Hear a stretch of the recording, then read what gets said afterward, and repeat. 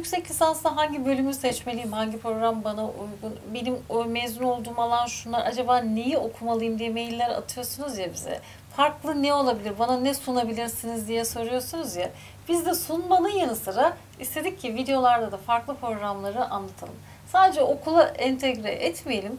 Bunun uluslararası düzeydeki yerine, önemine, 21. yüzyıldaki kıymetine de bakalım istiyoruz. Yani bu işler, bu ünvanlar, bu meslekler gelecekte ne olacak? Siz bu eğitimleri alırsanız nereye ulaşacaksınız? İşte yine özel ve niş alanlardan bir tanesi. Çünkü Kanada'da özel e, programlar biraz daha ön plana çıkıyor ve talep görüyor. Evet. Bu programları da bilinmeyen programları da sizler için anlatmak şahsen bizim adımıza da güzel geliyor, hoş geliyor. Bilinmeyen bir şeyi sanki anlatıyormuşuz Özellikle gibi. kara- Kanada'da kariyer yapmayı planlıyorsunuz veya iyi bir yaşama sahip olmak istiyorsunuz arkadaşlar. Çünkü yani ben bir Kanada uzmanı olarak Kanada konusunda konuşuyorum sadece. Diğer ülkeler hakkında konuşabilirim ama o kadar uzman olarak yorum yapamam. Hani Kanada'da yaşamış, eğitim almış birisi olarak, senelerde de Kanada'ya yüzlerce öğrenmiş, öğrenci göndermiş birisi olarak, kariyer planlaması da yapan birisi olarak ancak Kanada'daki kariyerler konusunda tabii daha çok size ön ayak olmaya çalışıyoruz. Evet. Peki bu program sizin için e, neden önemli olabilir? Ee, Ya da bireye ne katabilir bu program? Otizm and Behavioral Science'dan bahsediyoruz arkadaşlar. Şimdi e, şu şekilde değerlendirmek gerekiyor. Günümüzde maalesef e, otizm sahip, otizm sahibi çocukların veya bireylerin oranı toplumda gitgide artmaya başladı. Şöyle değerlendirmek gerekiyor konuyu biraz. E, otizm sadece tek türü olan bir rahatsızlık değil veya doğumsal bir e, farklılık diyeyim ben. Bozukluk demek istemiyorum çünkü o insanlar bozuk değiller. Sadece farklılar. Belki biz bozuz Evet. onlara göre. Çünkü onların da hakikaten çok farklı yetileri ve yetenekleri oluyor. Duyuları güçlü. Evet, benim bildiğim otizmin 200'den fazla farklı çeşidi var. 285 miydi yanılmıyorsam. E, farklı çeşidi var arkadaşlar ve bunlara yönelik eğitimleri olan ve bunların e, treatment'ına, daha doğrusu onlarla etkileşime yönelik, onların hayata ve topluma daha fazla adaptasyon, adapte edilmesine yönelik e, eğitimler almış bireylerin, bu öyle uzmanlıklar olan bireylerin gelirleri çok yüksek oluyor arkadaşlar. Bunu Kanada özellikle size söylemem gerekiyor. E, tabii ki böyle spesifik bir eğitim aldığınız için postgrad eğitim bu. Yine yani üniversite sonrası alınan bir eğitim. E, tabii ki altyapıdaki eğitimimizin buna uygun veya benzer ilintili olması gerekiyor. İşte psikoloji olabilir, davranış bilimleri şeklinde tarzında eğitimler almış olmanız gerekiyor. Rehberlik olabilir mesela. Türkiye'de PDR'ler Evet. var, rehberlik bölümleri var. Evet. Mesela bunlarla Bu tip- ilgili. Aynen bu tip eğitimlerden e, çıkmışsanız arkadaşlar ve bu şekilde spesifik bir eğitim almak istiyorsanız ben size otizmi mutlaka öneririm. Tabii bu biraz kişinin de beklentisine de bağlı bir şey. Çünkü otizmli bireylerle uğraşmak hakikaten kolay bir durum değil. Fakat zaten siz de bunun eğitimini alıyorsunuz. Yani onu nasıl kotarabileceğinizin e, veya işte onlara nasıl iletişime geçip nasıl topluma da ve çok aslında bakacak olursanız manevi yönden tatmini çok Evet, büyük bir iş. bu kimi insan için çok çok Evet. önemlidir. Birine değer verip onu hani yeşertme fikri çok önem Evet. taşır. Bu meslek grubu onlar için tabii ideal olabilir. Aynen öyle. Ee, kurumsal bazda çok fazla iş imkanı var arkadaşlar. Bir sürü çünkü otizmle alakalı kuruluş, kurum ve kuruluş var. Sosyal yardım kuruluşları var. Ee, NGO dediğimiz yani non-profit organizasyonlar var. Yani kar amacı gütmeyen kuruluşlar da var. Bunun yanında individual olarak da çalışabiliyor bu bireyler. Ve çok ciddi gelirleri var. Yani şöyle söyleyeyim. Mesela Asperger bir otizm e, tipidir. Aa, sadece biraz asosyal oluyor çocuklar. Bir arkadaşımın mesela çocuğu Asperger ve Asperger olan çocuğunu İçe dönük biraz. daha. biraz daha içe dönük. Yani o hani otizmlerin baktığı tekerleklere falan dalıp genelde hani Hı. dalma durumları falan yok aslında çocuğun.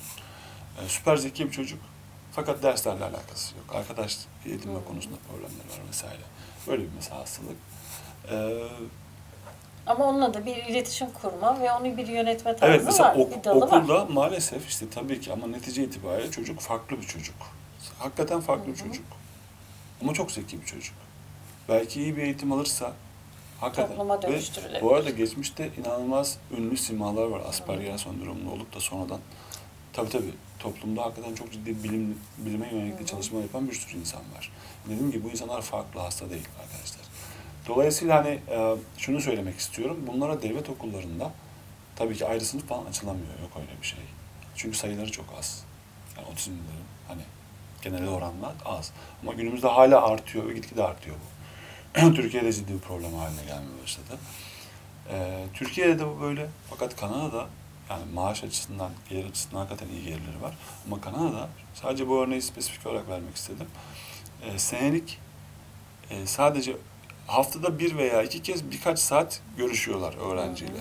Gelişimini takip ediyorlar. Individual takılıyor. Yani hani böyle sürekli bir onun e, ortamında eğitim vermek değil, haftada birkaç kez birkaç saat ayırıyor. E, senede istedikleri para 50 bin ila 70 bin Kanada doları arasında. Bir öğrenciden bu. Bir öğrencide. Evet. Yani bu kadar hani hala Kanada'da bile eksik olan bir alan. O yüzden de hani bu konuda uzmanlığınız varsa arkadaşlar, hani 5 tane öğrencinizin olduğunu düşünün böyle. Kanada'da rahat yaşarsınız. Rahat değil, bayağı öyle bir. Gezersiniz Kanada'yı zaten başlayıp. Ee, Bayağı çok çok rahat yaşarsınız onu size söyleyeyim. Çünkü Kanada'da zaten net geliri işte e, 70-80 bin dolar ve üzerinde olanlar zaten Rahat çok çok çok rahat, rahatlar. Böyle 4-5 tane öğrenciniz olduğunu düşünürseniz yani çalışma saatleriniz de gayet rahat, geniş.